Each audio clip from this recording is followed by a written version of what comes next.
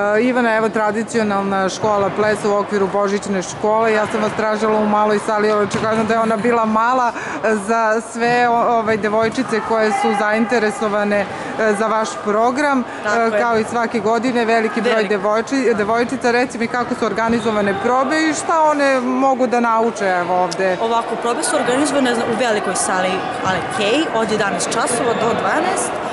Uglavnom radimo osnove hip-hopa, nove koreografije, neke sitne koreografice, lagane, čisto da bi se deca prilagodila. Uzrastu radimo od a, predškolskog uzrasta. Vidim da ima i manjih Tako ima i manjih jeste. devojčica i manjih, do, uglavnom do osmog razreda, da su, ali može i srednja škola naravno. Inače imamo 40 polaznika, uglavnom svake godine oko 20-ak pođu s nama. To je takođe veliki uspeh za nas, za naš klub